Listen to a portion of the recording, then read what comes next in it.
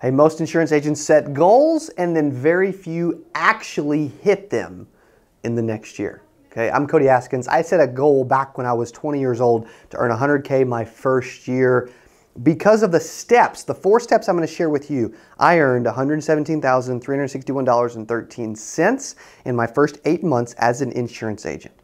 Okay, and I want to share that with you because we are coming up on 2020. And I want 2020 to be the biggest year you've ever had. When you look back in a year, I want you to look back on this moment and say, you know what, this was good, man. This is the reason why. So these four steps, as we dive in, I'm going to explain them. I'm going to give you some bonus material. I'm also going to share my goals. I'm going to let you know what you need to do to make 2020 the best year you've ever had. Okay, so I'm going to give you four specific steps that you can do to make sure. Okay, I'm even going to give you a bonus so that you can make sure that 2020 you hit your freaking goals. Okay, step number one is you actually need to set a goal. Okay, you actually need to know that, hey, I have a goal. Most people don't know where they're going. If you think goals are cheesy, if you think goals don't work, if you think goals are a waste of time, then you'll probably never actually hit anything. Okay, so number one, set a goal. I'm telling you, you want to do nothing without setting a goal. After you set the goal, let's just say that it was because I bet a majority of you this is what it was. Stay with me, pay attention. I'm, I'm, I'm telling you, I guarantee you, most, most of you, that was your goal for 2020. Okay, if I was right, put it in comments below. If I was wrong, tell me in comments below, right? I've been wrong before. Not a lot, but before. Okay? 100K, I guarantee that's what it was. The second step I'm going to tell you is that you actually need to set it bigger. Okay, here's why. I was just on the Six Figure Society accountability call that we do every week, and a member spoke up and said, You know what? When I set my goal at 100K, I fell short and I made 80. He said, But when I set it higher, I hit it. Okay, so maybe instead of 100K, maybe you should set it for 125. Maybe you should set it for 150. Maybe you should set it for 200K. And you say, Well, why? Number one, if you fall short, you still hit it. Okay? Also, you will, it'll make you work harder to actually hit the bigger goal. And you'll end up doing the activity for the bigger goal and end up falling, even if, even if, say that you do the activity for 200K, because you've outlined it, you know what it takes, and you do the activity for 200K. What will end up happening is it will, let's just say you have a bad day, a bad week, you can't throw a beach ball in the ocean, um, somebody something happens to a family member or you get sick for a week or you know you have to go to a birthday party or vacation or life happens or holidays or whatever right? Because stuff happens. You're doing the activity for double so who cares if you have to take a week off? You're still ahead of schedule for what you're originally actually wanting to make so set it bigger if it, that's what it is you're not going to hit it because it's too small because when life happens you're going to fall short. Okay, I don't want you to fall short, so set it bigger. Okay, next step after setting it bigger is I want you to reverse engineer what that looks like. Okay, what does that look like for you? If it was uh, if it was if it was 200k, it's 4,000 per week. Okay, how many sales is that? How many appointments will that take?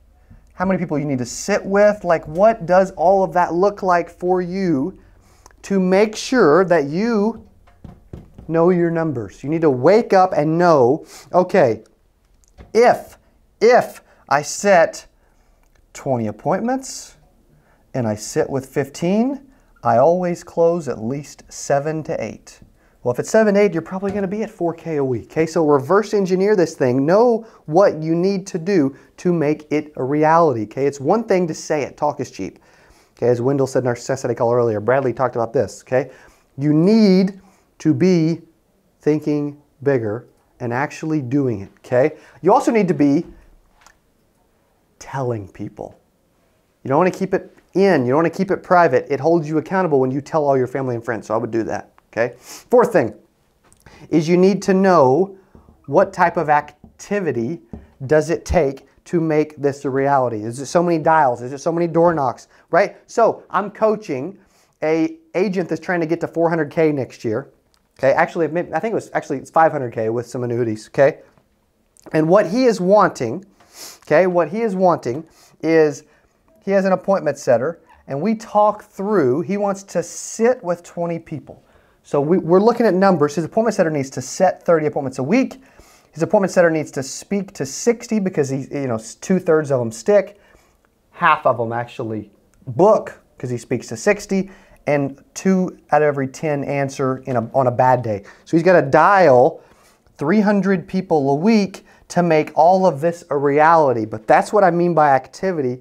That's what I mean by numbers. We know that as long as they have the lead flow, and they do because they're working with a secure agent marketing and they get a couple hundred leads a month from us, okay? As long as the lead flow is right and the appointment setter does what he knows he should do, then guess what?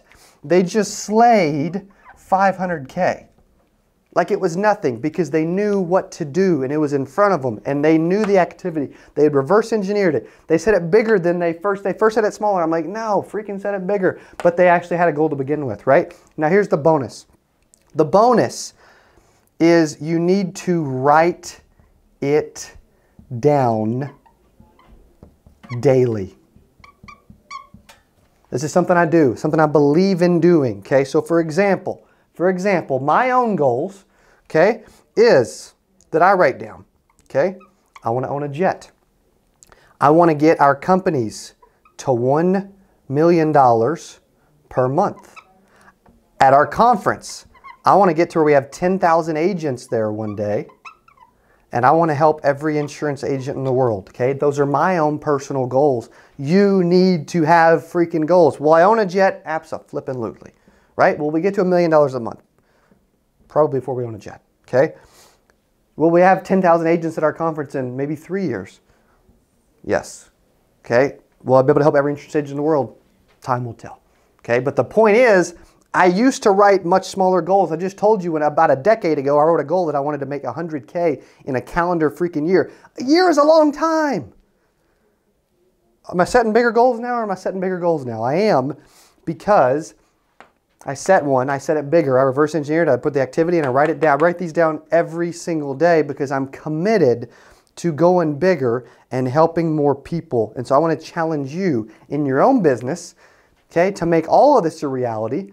You're going to need you're going to need to be creative. Okay? You're going to need to think on another freaking level. You're going to need to think bigger. You're going to need to be innovative. And you're going to need to realize that you can learn from others, which is probably why you're watching this YouTube video right now. You can learn from other people. And when you actually start to realize that I need to innovate, create, I can need to think freaking bigger, and I need to get around success people, I can learn more, I need to go to retreats, events, conferences, etc. You can scale your business. Okay, so I was just challenging my Six Figure Society group to do this for 2020. And I want to challenge you right now to do this. Stop what you're doing. Pause the video, or as soon as it's over, stop watching it and say, Here is what I'm going to do for 2020. Take a second to reflect on 2019. Take a second to think about 2020. Also, every problem that you could potentially run into in 2020, I want you to list them all out and I want you to take them all away. Say, you know what, this, this, this, this, and this, and I'm taking them all away. Okay? What would hold you back from hitting your goal? You need to know it because it's probably going to come up and happen. So I want you to, I want this to challenge you to take these four steps. Set a goal, set it bigger, reverse engineer, put forth activity, and even the bonus, write it down every freaking day. In a year from now, I want you to think, did I hit it? If you hit it, how would you feel? Let's put yourself in your shoes in a year from now. How would you feel? How, would you feel freaking good? I bet you'd feel, feel pretty freaking good, right? Now, if you feel good, you probably were glad you did everything it took and you did whatever it takes and you went for it. Now, do whatever it takes so that you can end up with that feeling of success and that you did it and you achieved it. And I promise you, whatever you did the year before will be totally worth it. Hey, so if you love this video, I've got eight rules for calling insurance leads. It's right there. Go there, click on the video, and I'll see you there. So these eight rules will make sure that you're able to stay in control and it'll help you set more appointments when you call leads. All right, so let's jump right in. The first one is you need to assume that the